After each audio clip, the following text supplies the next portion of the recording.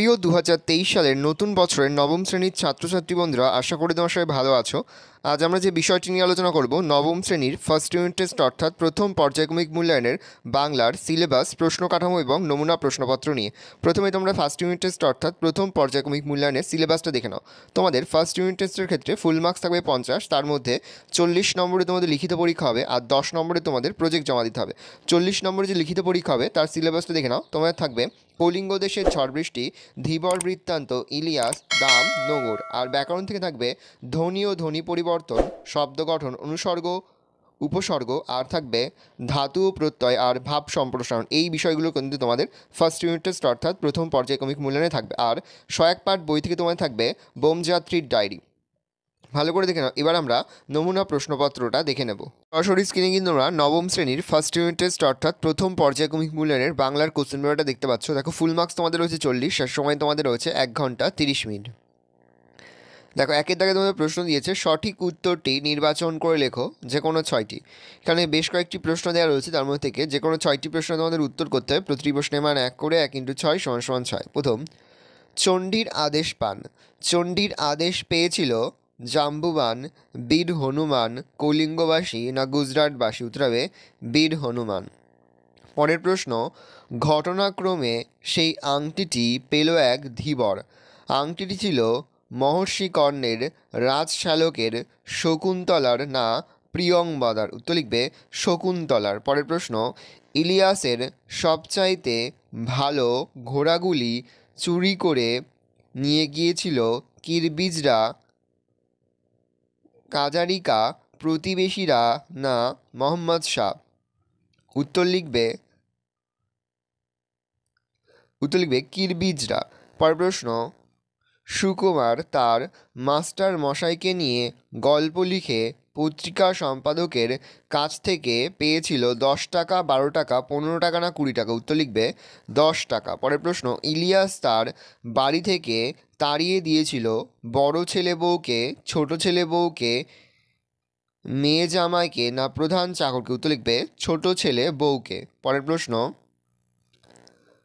সংবৃত স্বরধ্বনি হলো এ, অ অ, আ, কোনটিই নয়। উত্তর হবে কোনটিই নয়। পরের প্রশ্ন, প্রফেসর শঙ্কুর ডায়েরিটা যার থেকে পাওয়া গিয়েছিল, তিনি হলেন প্রফেসর শঙ্কু তারক চাটুর্যে প্রহ্লাদ না অবিনাশ বাবু। উত্তর লিখবে তারক চাটুর্যে পরের প্রশ্ন, শঙ্কুর, এটা বানাটেড প্রিন্টিং মিস্টেক আছে, শঙ্কুর ডায়েরির লেখায় লেখক প্রথমবার যে রঙটি দেখেছিল এখানে অপশান হচ্ছে লাল, সবুজ, নীল না কালো? উত্তর হবে সবুজ।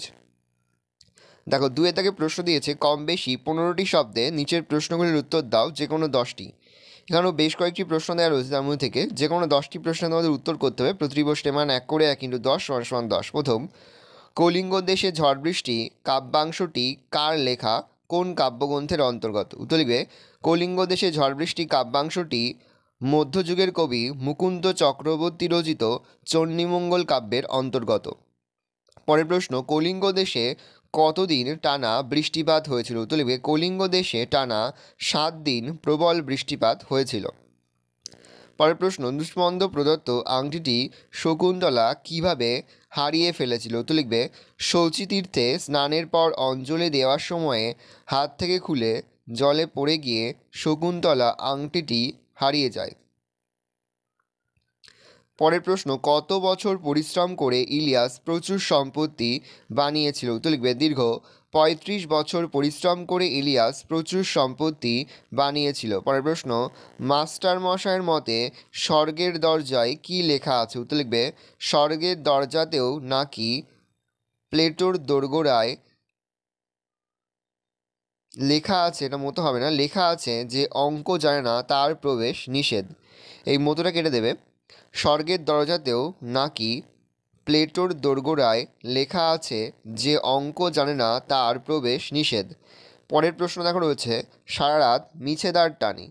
সারা রাত দাঁড় টানা কেমন করে মিছে হয়ে যায়? উত্তর লিখবে, কবির নৌকা তটের কিনারে নোঙরে বাধা পড়েছে। দাঁড় টেনে তাকে এগোনো যায় না। প্রফেসর শঙ্কুর ডায়েরির পৃষ্ঠাগুলির বিশেষত্ব সম্পর্কে বোমযাত্রীর ডায়েরিতে লেখক কী জানিয়েছেন উত্তর লিখবে, প্রফেসর শঙ্কুর ডায়েরির পাতাগুলি টানলে রবের মতো বেড়ে যেত, তা ছেঁড়া ও পড়ানো ছিল অসম্ভব, আবার কালির রঙও বদলে যেত। পরের প্রশ্ন, প্রফেসর শঙ্কুর দলের সদস্যদের কার কত ওজন ছিল? উত্তর প্রফেসর শঙ্কুর দলের সদস্য প্রহ্লাদের দুই মন সাতশের, শঙ্কুর এক মন এগারোশের, বিদুশেখরের সাড়ে পাঁচ মন ওজন ছিল। পরের প্রশ্ন, বিদুশেখর টাফাই কাদের বাস বলেছিল? উত্তর লিখবে, বিদুশেখর বলেছিল যে টাফায় সৌরজগতের সব থেকে সভ্য লোকেরা বাস করে। পরের প্রশ্ন টাফায় অধিবাসীরা কোথায় থাকে? উত্তর লিখবে টাফায় অধিবাসীরা গর্ত দিয়ে মাটির ভিতরে ঢুকে যায় এবং সেখানেই বাস করে।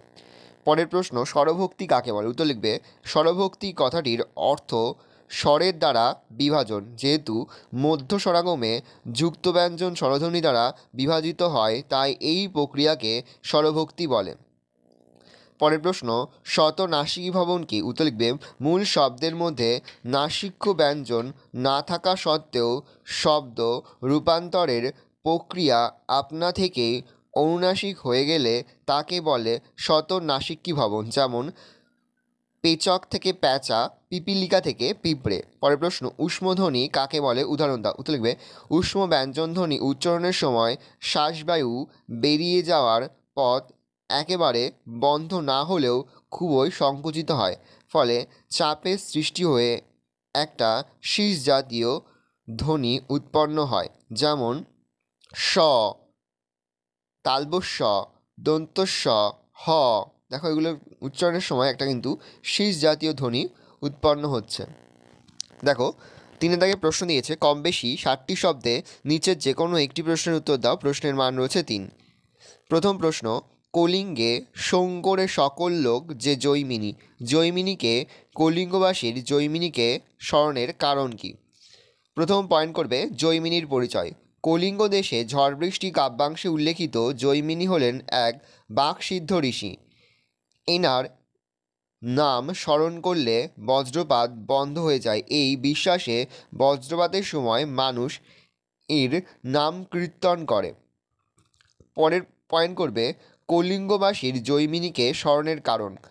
কলিঙ্গ দেশের আকাশে হঠাৎ ঘন কালো মেঘ জমে ওঠে। আকাশ ভাঙা মেঘ থেকে বৃষ্টি নামে মুষলধারায় মেঘের গভীর গর্জন, ঘন ঘন বজ্রপাত, ঝড়ের প্রবল তাণ্ডবে কলিঙ্গবাসী ভীত হয়ে পড়ে। এই ভীষণ বিপদ থেকে উদ্ধার পাওয়ার আশায় তারা ঋষি জৈমিনীকে স্মরণ করতে থাকে। পরের প্রশ্ন, আমার বাণিজ্য তরী বাধা পড়ে আছে। কথাটির তাৎপর্য লেখো। উত্তর লেখো কবিতার রচিত সাহিত্যকীর্তিগুলি নিয়ে ভেসে যেতে চান দূর দূরান্তে। সাত সমুদ্রের পাড়ের সেই সুদূর জগতে কবিতার মনের আনন্দ খুঁজে পাবেন। এই আশায় কবি প্রতিদিন বুক বাঁধেন, যেন তিনি নৌকার দাঁড় টেনে গন্তব্যে চলেছেন। কিন্তু পর মুহূর্তেই তার মনে পড়ে যায় বাস্তব জীবন ও সংসারের দায়িত্ব হাইপেন কর্তব্য ত্যাগ করে তিনি কোনো দিনই গন্তব্যে যেতে পারবেন না। তাই গভীর হতাশার সঙ্গে কবি আলোচ্য উক্তিটি করেছেন। দেখো, চারে দাগে প্রশ্ন দিয়েছে, কম বেশি ষাটটি শব্দে নিচে যে কোনো একটি প্রশ্নের উত্তর দাও, প্রশ্নের মান রয়েছে তিন। প্রথম, অতিথিরা হেসে উঠল। কার? কোন কথা শুনে অতিথিরা হেসে উঠল। উত্তর লিখবে, লিও তলস্তয় রচিত ইলিয়াস গল্পে ইলিয়াসের স্ত্রী শাম সীমাগির কথা শুনে অতিথিরা হেসে ওঠে। শাম সীমাগি অতিথিদের বলে যে, দীর্ঘ পঞ্চাশ বছরের সম্পদশালী জীবনে সুখের সন্ধান করেও সুখ তারা খুঁজে পায়নি। তাদের জীবনে একান্তে কথা বলার বা ঈশ্বরের কাছে প্রার্থনা করার অবকাশ ছিল না। সবসময় ভাবনা হতো, আতিথেয়তা নিয়ে কেউ নিন্দা করবে কিনা সে কথা ভেবে। মজুরদের দিকে কড়া নজর দিতেই ইলিয়াস দম্পতির সময় কেটে যেত। কিন্তু শেষ বয়সে ভাড়াটে মজুর হিসাবে কাজ করার সময় তারা জীবনের প্রকৃত সত্যকে খুঁজে পেয়েছেন। মনের সুখে স্বামী হাইপেন, স্ত্রীর আলাপ হাইপেন আলোচনা বা ঈশ্বরের কাছে প্রার্থনার অবকাশও তাদের রয়েছে। পঞ্চাশ বছর ধরে সুখ খুঁজে ফিরলেও প্রকৃত সুখ তাদের জীবনে কখনো আসেনি। অতিথিরা ইলিয়াস পত্নীর বলা এই কথাগুলি শুনে হেসে ওঠে। পরের প্রশ্ন, আমার গায়ের রক্ত হিম হয়ে এসেছে। বক্তাকে, তার গায়ের রক্ত কেন হিম হয়ে যেত? উত্তর লিখবে উদ্ধৃতির বক্তা নারায়ণ গঙ্গোপাধ্যায়ের দাম ছোট গল্পের কথক সুকুমার। স্কুলের অঙ্কের মাস্টারমশাই তার নাম ধরে ডাকলেই সুকুমারের গায়ের রক্ত হিম হয়ে যেত। সুকুমার বরাবর অঙ্কে দুর্বল ছিল। অপরপক্ষে মাস্টারমশাই মনে করতেন অঙ্ক না পারাটা ভয়ানক লজ্জার। তাই কোনো ছাত্র অঙ্ক না পারলেই তার পিঠে নেমে আসতো মাস্টারমশাইয়ের প্রকাণ্ড হাতের প্রচণ্ড চর। এই মারের ভয়েই ছেলেমেয়েরা বহুদিন সুকুমারের গায়ের রক্ত হিম হয়ে যেত।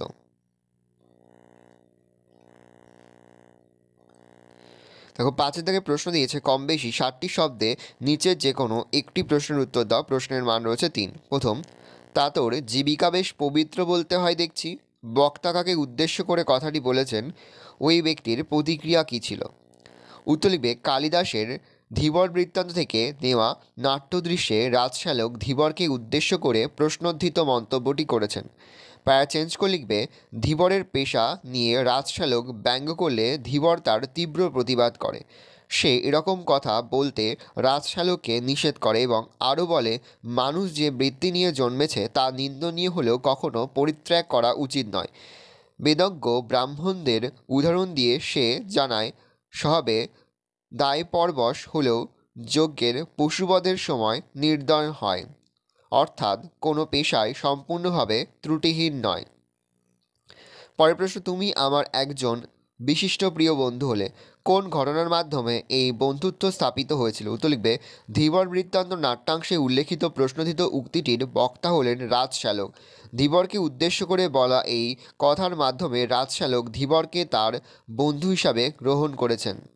প্যারা চেঞ্জ করলিবে প্রাথমিকভাবে ধীবরের কাছে রাজার নাম খোদাই করা আংটিটি পেয়ে রাজশালকও ধীবরকেই চোর বলে সন্দেহ করেছিল এবং তার পেশা নিয়ে বিদ্রুপ করেছিল। এমনকি এর গা থেকে কাঁচা মাংসের গন্ধ আসছে, এ অবশ্যই গোসাপ খাওয়া জেলে হবে। এই জাতীয় বিদ্রুপ মন্তব্য তারা করেন। কিন্তু মহারাজ যখন রাজশালককে বলেন যে ধীবর আংটি পাওয়া সম্পর্কে যা বলেছে তা সব সত্য রাজশ্যালকেরও মনোভাবের পরিবর্তন ঘটে। রাজা আংটির সমূল্যের অর্থ পুরস্কার হিসাবে রাজশ্যালকের হাত দিয়েই ধীবরকে পাঠিয়েছিলেন। এইসব ঘটনা রাজশ্যালককে প্রভাবিত করে। রাজশালক এর পরই ধীবরকে তার বন্ধু হিসাবে গ্রহণ করে নেন। এর পিছনে একাধিক কারণ থাকতে পারে। প্রথমত, ধীবরের সততা রাজার মাধ্যমে স্বীকৃত হওয়ার পরই রাজশালক নিজের ভুল বুঝতে পারেন। তিনি নিজেকে সংশোধন করে নেন। দ্বিতীয়ত, রাজার মনোভাব বুঝে রাজশালক আর ধীবরকে অবজ্ঞা করতে সাহস পাননি। বরং ধীবরের সাথে বন্ধুত্ব স্থাপনের মাধ্যমে রাজার প্রতি তিনি নিজের আনুগত্য প্রতিষ্ঠা করতে চেয়েছেন। দেখো, ছয়ের দাগে প্রশ্ন দিয়েছে, কম বেশি একশো পঞ্চাশটি শব্দে নিচে যে কোনো একটি প্রশ্নের উত্তর দাও, প্রশ্নের মান রয়েছে পাঁচ। প্রথম কলিঙ্গ দেশে ঝড় বৃষ্টি কবিতায় কলিঙ্গে যে প্রাকৃতিক বিপর্যয় ঘটেছিল তা কীভাবে কলিঙ্গবাসীর জীবনকে বিপন্ন করে তুলেছিল, বুঝিয়ে দাও। খুবই গুরুত্বপূর্ণ একটা প্রশ্ন, উত্তর লিখবে। মুকুন্দ চক্রবর্তী রচিত চণ্ডীমঙ্গল কাব্যের আখেটিক খণ্ডের অন্তর্গত কলিঙ্গ দেশে ঝড় বৃষ্টি, এটাকে তোমরা সিঙ্গেল ইনভার্টেড করার মধ্যে রাখবে। কাব্যাংশে দেবী চণ্ডী তার কৃপাধন্য ব্যাদ কালকেতুর তৈরি গুজরাট নগরে বসতি প্রতিষ্ঠার জন্য কলিঙ্গ দেশে প্লাবন ঘটান। কলিঙ্গের আকাশে ঈশান কোণে মেঘ জমা হয়। ঘন ঘন বিদ্যুতের ঝলকানি দেখা যায়। দূর দিগন্তে মেঘের গম্ভীর ধ্বনির সঙ্গে শুরু হয় মুষলধারায় বৃষ্টি। বিপদের আশঙ্কায় প্রজারা ঘর ছেড়ে দ্রুত পালাতে থাকে। ঝড়ের দাপটে সবুজ শস্যক্ষেত নষ্ট হয়ে যায়। আটটি দিকের আটটি হাতি যেন বৃষ্টির ধারায় সব ভাসিয়ে নিয়ে যেতে চায়। প্রবল বর্ষণে পদঘাট জলে ডুবে যায়। ঘোর অন্ধকারে দিন হাইপেন রাত্রির পার্থক্য মুছে যায়। জলমগ্ন রাস্তায় সাপ ভেসে বেড়াতে থাকে। ভীত প্রজারা এই ভয়াবহ দুর্যোগ থেকে নিস্তার পেতে ঋষি জৈমিনীকে স্মরণ করতে থাকে। সাত দিন ধরে অবিরাম বর্ষণের ফলে কৃষিকাজ যেমন ক্ষতিগ্রস্ত হয়, ঘরবাড়িও নষ্ট হয়ে যায়। ভাদ্র মাসে তালের মতো বড় আকারের শিল ঘরের চাল ভেদ করে পড়তে থাকে। দেবীর আদেশে সমস্ত নদ নদী কলিঙ্গের দিকে ছুটে আসে। পর্বতের মতো উঁচু ঢেউয়ের আঘাতে বাড়িঘর ভেঙে পড়ে। দেবী চণ্ডীর আদেশে সৃষ্ট এই ভয়াবহ প্রাকৃতিক বিপর্যয়ে অসহায় প্রজারা শঙ্কিত হয়ে ওঠে। পরের প্রশ্ন, সারা রাত তবু দাঁড় টানে। কবি, সারার দাঁড় টানেন কেন? তবু কথাটি বলার কারণ কি? এই দাঁড় টানার মধ্যে দিয়ে কবির কোন মানসিকতা ফুটে উঠেছে? পয়েন্ট করবে দাঁড় টানার কারণ। কবি অজিত দত্ত নোংর কবিতায় বলেছেন যে নৌকা ভরা পণ্য নিয়ে তিনি সাত সাগরের পারে পাড়ি দিতে চান। তাই তিনি সারা রাত দাঁড় টানেন। পয়েন্ট করবে তবু বলার কারণ। তবু শব্দের অর্থ তা সত্ত্বেও পণ্য ভরা নৌকা নিয়ে সাত সাগরের যাওয়ার বাসনা ছিল কবির। কিন্তু কখন ততের কিনারে নোঙর পড়ে গেছে তিনি বুঝতেও পারেননি। নৌকা যে আর তর ছেড়ে যাবে না কখনো তা তিনি জানেন। তবু মন যেন এই সত্য মানতে চায় না। কঠিন সত্যটি জানা সত্ত্বেও কবি সারা দাঁত টেনে চলেন। এই কারণেই তবু কথাটি বলা হয়েছে। পয়েন্ট করবে, কবি মানসিকতার পরিচয়। এই দাঁড় টানার মধ্যে দিয়ে কবি অদম্য মানসিকতার পরিচয় পাওয়া যায়। তিনি জানেন, সমাজ হাইপেন সংসারের নানা বন্ধন তাকে আষ্টে পৃষ্ঠে বেঁধে রেখেছেন। তবু তার কল্পনাবিলাসী মন বাঁধনহারা জীবনের স্বাদ পেতে চায়। তার চারপাশে বাস্তব বলে এই দাঁড় টানা বৃথা, কিন্তু তার অবচেতনা মন আশা হাইপেন স্বপ্নের জাল বুনে চলে। তাই তিনি অবিরাম দাঁড় টেনে চলেন। কবি জানেন তার বাসনা হয়তো কোনো দিনই পূরণ হবে না, তবু স্বপ্নময় জীবনে অনুসন্ধানে তার ক্লান্তি নেই। দূর সাগরে পাড়ি দেওয়ার স্বপ্নই তাকে বাঁচিয়ে রাখে। দেখো, সাতের দাগে প্রশ্ন রয়েছে, কম বেশি একশো পঞ্চাশটি শব্দে নিচে যে কোনো একটি প্রশ্নের উত্তর দাও, প্রশ্নের মান রয়েছে পাঁচ। প্রথম, ভাগ্য যেন চাকার মতো ঘোরে। কাকে উদ্দেশ্য করে বলা হয়েছে, বক্তার এমন বক্তব্যের কারণ ব্যাখ্যা করো।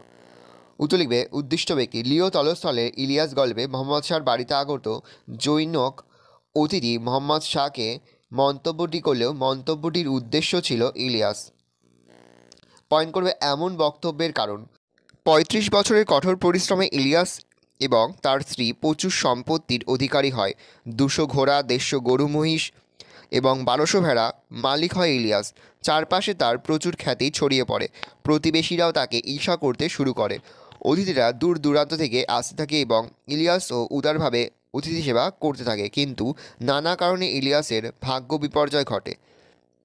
ছেলের সঙ্গে বিবাদে তাকে আলাদা করে দেওয়া মরক কিরবিজদের ঘোড়া চুরির ঘটনা, দুর্ভিক্ষ ইত্যাদি নানা কারণে তার পালিত পশুর সংখ্যা ক্রমশ কমতে থাকে।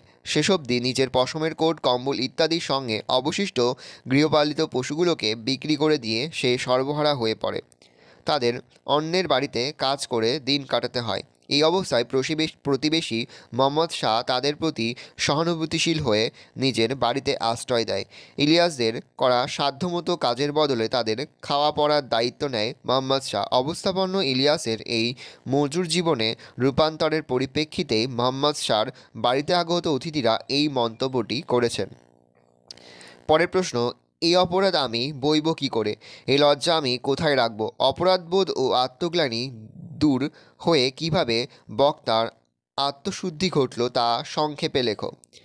উত্তর লিখবে, কথকের ছোটবেলার বিভীষিকা স্বরূপ ছিলেন তার স্কুলের অঙ্কের মাস্টার মশাই অঙ্ক শেখানোর জন্য তার কঠোর শাসন তীব্র বকাঝকা কথকদের কাছে আতঙ্ক হয়ে গিয়েছিল।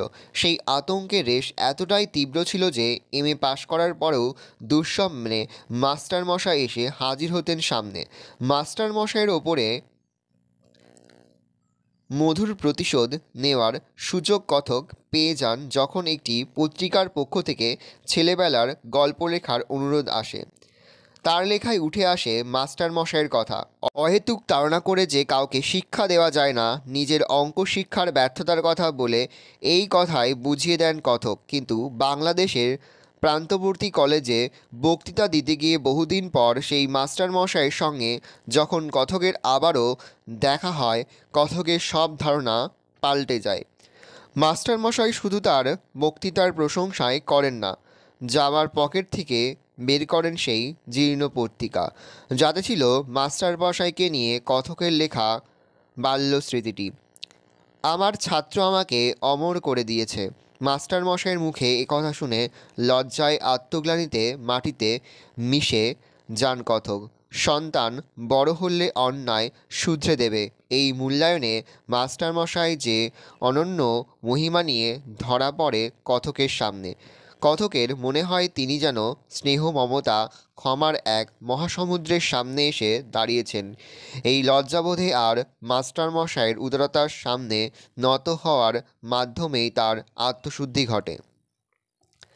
দেখো, আটের দাগে প্রশ্ন দিয়েছে, কম বেশি একশো পঞ্চাশটি শব্দে নিচে যে কোনো একটি প্রশ্নের উত্তর দাও, প্রশ্নের মান রয়েছে পাঁচ। প্রথম, তারক চাটুর্যের কাছ থেকে প্রফেসর শঙ্কুর ডায়েরির প্রাপ্তির কাহিনী নিজের ভাষায় লেখো। ওদিকে প্রফেসর ত্রিলোকেশ্বর শঙ্কু ডায়েরিটি লেখক পেয়েছিলেন জৈনক তারক চাটুর্যের কাছ থেকে। একদিন দুপুরে অফিসে বসে তিনি যখন পুজোর সংখ্যার জন্য একটা লেখার গ্রুপ দেখছেন, সে সময় তারক চাটুর্যে সেখানে আসেন এবং একটা লাল খাতা সামনে রাখেন। তার কথায় সেটি ছিল গোল্ড মাইন, এটি শঙ্কুর ডায়েরি। এর আগে এই মানুষটি কিছু গল্প ইত্যাদি এনেছেন, যতটা লেখার উৎকর্ষের জন্য, তার থেকেও তার দারিদ্র্যের কথা ভেবে লেখক তাকে পাঁচ হাই পেন দশ টাকা দিয়েছেন। কিন্তু প্রফেসর শঙ্কু, যিনি পনেরো বছর নিরুদ্দেশ, তার ডায়েরি কীভাবে তারুক চাটুর্যের কাছে গেল, তা ভেবে লেখক বিস্মিত হয়ে যান।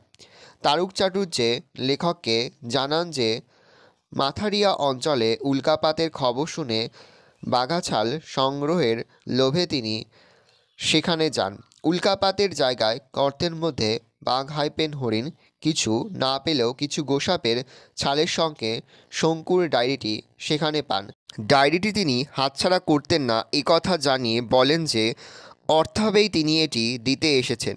সব কথা বিশ্বাসযোগ্য মনে হলেও লেখক কুড়ি টাকা দিয়ে তারক চাটুর্যের কাছ থেকে ডায়েরিটি সংগ্রহ করেন। পরের লেখক কার কাছ থেকে প্রফেসর শঙ্কুর ডায়েরিটি পেয়েছিলেন? ডায়েরিটির বিশেষত্ব কী ছিল? পয়েন্ট করবে উদ্দিষ্ট ব্যক্তি। সত্যজিৎ রায় রচিত বোমযাত্রীর ডায়েরি গল্পে প্রফেসর ত্রিলোকেশ্বর শঙ্কু বিচিত্র ডায়েরিটির লেখক পেয়েছিলেন তারক চাটুর্যের কাছ থেকে।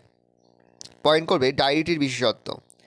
বিজ্ঞানী প্রফেসর শঙ্কু ডায়েরিটা প্রথমবার লেখকের কাছে যখন পৌঁছায় তখন তিনি দেখেছিলেন, ডায়েরিতে ব্যবহৃত কালির রং ছিল সবুজ, কিন্তু পুজোর পর খাতাটি আলমারি থেকে বের করার পরই লেখকের খটকা লাগে কারণ তিনি দেখেন কালির রং লাল।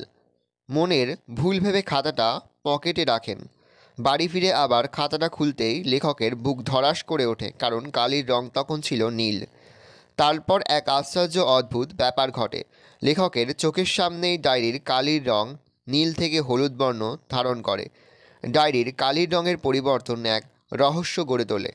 বিস্ময়কর পৃষ্ঠা। এমনকি ডায়েরিটি লেখকের হাত থেকে পড়ে যাওয়ার পর লেখকের কুকুর ভুলু তাতে দাঁত বসালেও ওই খাতার কাগজ তার কামড়ে কোনোভাবেই ক্ষতিগ্রস্ত হয় না। লেখক বিস্মিত হয়ে যান।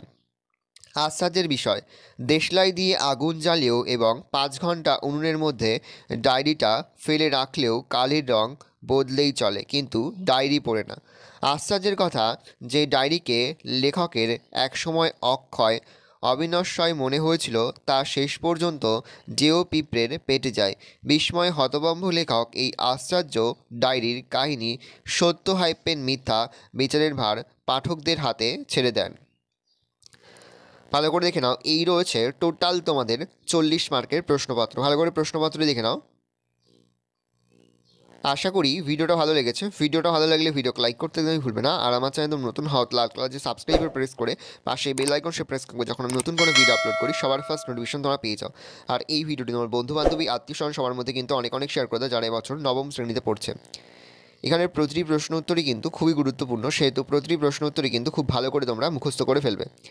আমরা কিন্তু ইতিমধ্যে নবম শ্রেণির প্রতিটি বিষয়ের সিলেবাস, প্রশ্ন কাঠামো এবং নমুনা প্রশ্নপত্র কিন্তু আপলোড করে দিয়েছি তার পাশাপাশি প্রতিটি বিষয় অধ্যায়ভিত্তিক ছোট প্রশ্নের উত্তর সহ সাইশন এবং বড় প্রশ্নের উত্তর সহ সাইশন কিন্তু আপলোড করে দিয়েছি। তোমরা যদি এখনও পর্যন্ত সেই ভিডিওগুলো না দেখে থাকো, ভিডিওগুলো কিন্তু তাড়াতাড়ি দেখে নাও। আশা করা যায় প্রতি বছর নয় এই বছরও তোমরা আমাদের সাজেশন অংশ থেকে সমস্ত প্রশ্ন কিন্তু কমন পেয়ে যাবে। সেহেতু প্রতিনিয়ত যে অধ্যায়ভিত্তিক সাইশনগুলো আমরা তোমাদের কাছে তুলে ধরছি, সেই অধ্যায়ভিত্তিক সাইশনগুলো কিন্তু খুব ভালো করে ফলো করো। তাহলে দেখবে প্রতিটি বিষয়ের পরীক্ষায় খুব ভালো হবে। একেবারে ভিডিও শেষে স্ক্রিনে তোমরা একটা প্লেলিস্ট দেখতে পারবে, তার উপরে ক্লিক করলেই সমস্ত ভিডিওগুলো কিন্তু তোমরা পর পর দেখে নিতে পারবে। তোমাদের সকলকেই জানাই আগাম পরীক্ষার অনেক অনেক শুভেচ্ছা এবং অভিনন্দন।